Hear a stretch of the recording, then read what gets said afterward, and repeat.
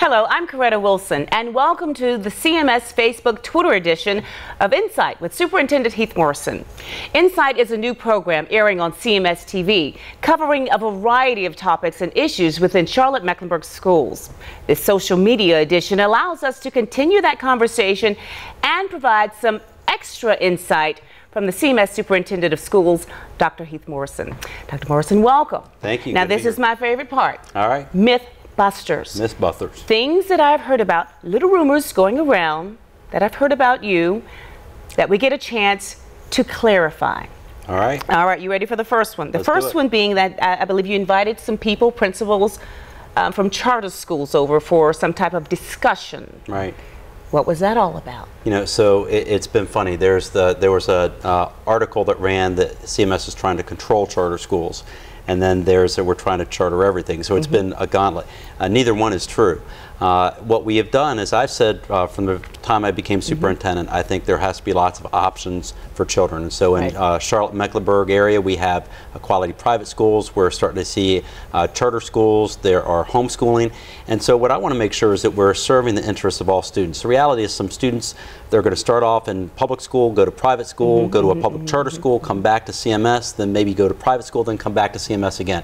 It's in our best interest to work together, private schools, public charter schools, and our uh, public education system. So uh, in December, I invited uh, all of the leaders of our charter schools in the area, our private uh, schools to come together. We talked about how we need to collaborate, do this work, uh, ways that we could work together on behalf of our community and our children. It's a great meeting. Uh, what came out of that was a commitment that we will continue to work together. So we have another meeting coming up in, a, in a few weeks, and I'm looking forward to the partnerships that we're going to uh, have together to serve our families and our children. So it's a partnership and a collaboration, speaking and learning from each other. Absolutely. Uh, ways that we can work together, things that we can learn. Uh, if there's ways that we can uh, save resources so that we can all reinvest them in, our uh, educational systems, why would we not do that? Again, the reality is, is that as parents exercise choices, they're going to start off in one area, move to another, and it's in our best interest if we're working collaboratively together because that's how we can uh, better serve our children. Okay, so what exactly is a charter school? Yeah, so a lot of people think that charter schools aren't uh, public schools. They are public schools. Uh, every charter school in North Carolina is part of the public education system. Uh, they are schools that operate outside of the governance structure of the traditional school district. Uh, so there's nothing that inhibits them from working collaboratively. In my prior school district, uh, we actually sponsored eight charter schools ourselves. And so, uh, but they are uh, uh, different models of schools, but they are public schools. Uh, and, and so, you know, they're a new offering in the North Carolina educational landscape. Okay. Could some people maybe be thinking that, well, he's on this charter school thing to get rid of some of the students that we don't want in CMS? No, and nothing could be further from the truth. Look, you know, the part of the concept about creating public charter schools uh, was to have competition, and so uh, the idea is that as we are all competing for students, uh, we're going to uh, force our game to move up. The charter schools will have to continue to up their game, and so we're competing for our public education students, but that means we have to uh, compete for all of our students. We we want to have families feel like the best educational option is Charlotte Mecklenburg schools. They're local neighborhood schools. We might entice them to also look at our magnet programs, our alternative education programs, our academy signature programs.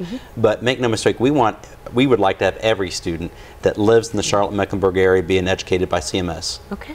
All right. That's one myth, but I got another. All right, let's do it. the other one is that uh, you are anti-testing.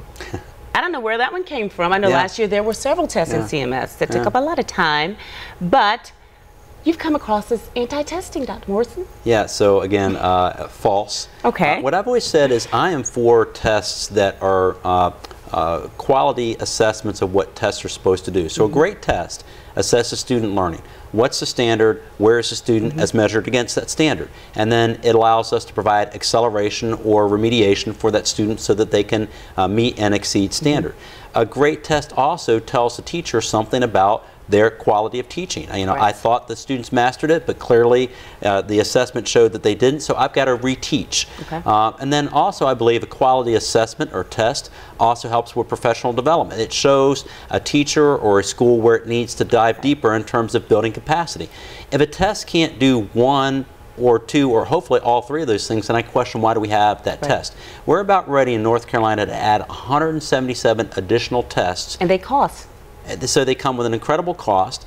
I think in many of these cases, it's very hard to justify why we're giving the test. It takes precious time away from instruction. We don't get to truly learn what a child has learned, uh, what a, a teacher has uh, learned, and how we can drive it for helping the student or helping the teacher do a better job. So I, I think it's appropriate to question why we're having so many tests. I am not anti-test. I believe in accountability. I believe that uh, assessment should uh, be part of a teacher's evaluation, a principal's evaluation, and my evaluation. But I just want tests that make sense, that are for the right reasons, and that help us improve student learning and capacity building for our principals and teachers. We were speaking with so many tests, and a lot of those tests come at the end of the school year. The students are worn out.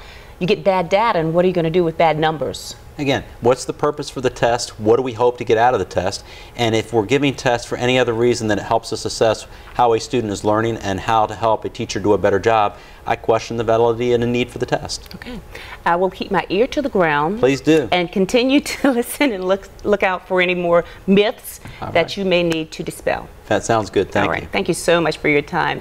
And be sure to watch the premiere episode of Insight with Superintendent Heath Morrison on CMS TV, Time Warner Cable, Channel 3.